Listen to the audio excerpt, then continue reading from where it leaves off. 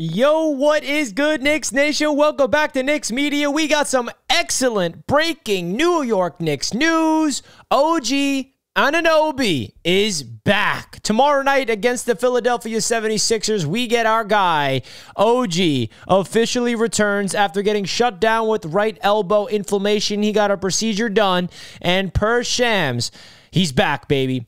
The New York Knicks unfortunately fell to the 76ers last night in a absolutely terrible game. I don't even want to talk about it. I want to forget about that game. The offense was abysmal. The Knicks put up I think 73 points. It was just an absolute abomination for both parties. But hey, the 76ers were the team to get the job done. Now the Knicks are taking on the 76ers again at home at Madison Square Garden. But not only are the New York Knicks getting some reinforcements back, the Philadelphia 76ers are expected to have Tyrese Maxey back in action against the Knicks tomorrow night. So this video I want to break down why this is a really good sign, not only for this uh, this game against the Sixers, but for the rest of the season because I got to remind everybody just how good these New York Knicks were when OG Anunoby was playing. The Knicks were 12 and 2 with him, and we got a lot to break down in this video. But folks, don't forget to hit that thumbs up button on your way into the show and comment down below your excitement about OG Anunoby officially returning to the New York Knicks. The Knicks are finally getting healthier, man. It's a great, great sign. And don't forget to subscribe to the channel. And we also have to give a huge shout out to the proud sponsor of Knicks Media. That just so happens to be BetUS Sportsbook. If you guys want to receive a 125 5% sign up bonus on your first three deposits up to $2,500. You guys can click that link down below in the description to open up your BetUS account today. Definitely take advantage of the promo that they're running if you want to put some bets on your New York Knicks. Please bet responsibly. Let's hear a quick word from BetUS.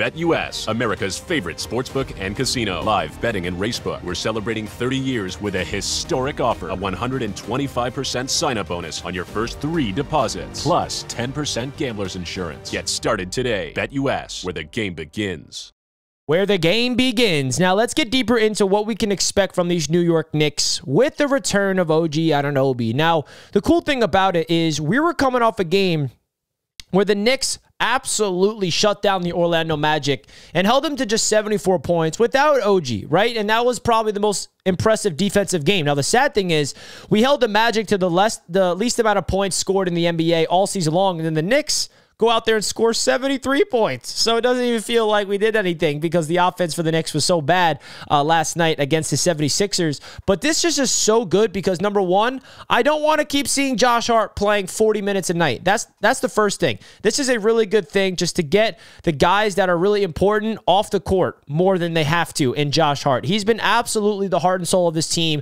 when the Knicks got injured because Jalen Brunson was banged up. Even Donte DiVincenzo got banged up at one point, if you remember, before the all Star break. But Josh Hart has been healthy and been playing a lot of minutes. So now with the return of OG Anunoby, I really hope that Tom Thibodeau can give Josh Hart a little breather and allow him to get some stamina back. Not to say he's lacking any stamina, but boy, was Josh Hart doing everything for the New York Knicks. And now I also think the Knicks can really rely on the defense to have no mistakes. Now, the, the thing about this that we have to realize, I think the defense is going to have a significant, in, you know, improvement with the addition of OG Anunoby, but I really want Knicks fans to be a little more patient with OG Anunoby's offensive game because I can't expect him coming off an injury that he had, especially to his right elbow, to just come out there and start lighting it up, right? I can't expect OG to hit every single shot. I know that it was a right elbow injury, and he does look really good. I mean, his pregame warmups, you see him shooting the ball with no ailment in his right elbow, and the Knicks would not be clearing him if he had any uh, setback. So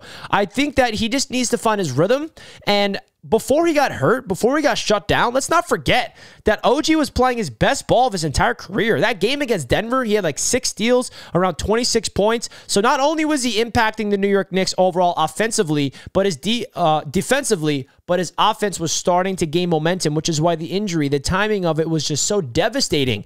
And let's not forget, I alluded to it earlier in the video, the Knicks were 12 and 2 when the Knicks traded for OG.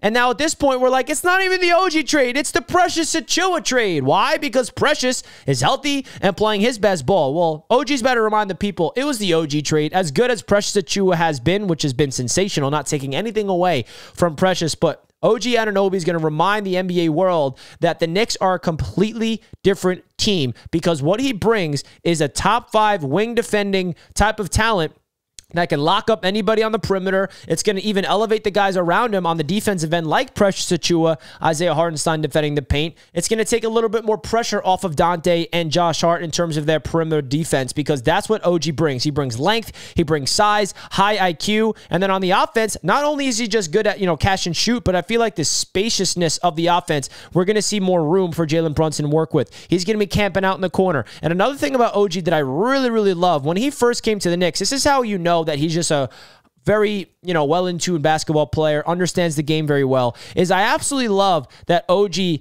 really knows how to move without the ball. His off ball movement was really important because I feel like he would just cut back door. The Knicks would find him. Even when he has the ball in his hands, he would find people down low. I feel like his off ball movement is something I'm really impressed with in OG Anunoby's game. And another part of his offense that I was impressed with with his mid range game. I know he can shoot the ball from downtown. I know he's an athletic piece that can go down the uh, court and dunk it on people. But I feel like his mid range game is kind of that separation factor where if he can get that mid range game and become a three level scorer, watch out because OG can absolutely take off and be a big reason why the New York Knicks go on a run. Now, I do expect the Knicks to get you know, going into the West Coast trip after the game against the 76ers tomorrow, I hope they can go on a little run here because this is where we need this Knicks team to start playing their best basketball. Mid March, and then let's hope we can get Randle back and then Mitch back, and then early April comes, and then we head into the NBA playoffs. Hopefully, hopefully, fingers crossed, fully, fully healthy, ready to go for the NBA playoffs, man. This is great news because when he first got shut down and we saw his right elbow get injured, we were all thinking the same thing. Oh my God, there goes the season. But here we are. The New York Knicks are still right in the thick of things when it comes to the Eastern Conference standings, even without OG Anunoby these last few weeks and without Julius Randle for that matter. So the Knicks are currently sitting as the fourth seed in the Eastern Conference, and they have every single reason to be excited and optimistic of the return of OG Anunoby. Knicks fans, please do me a favor right now. Comment down below your excitement level for the return of OG.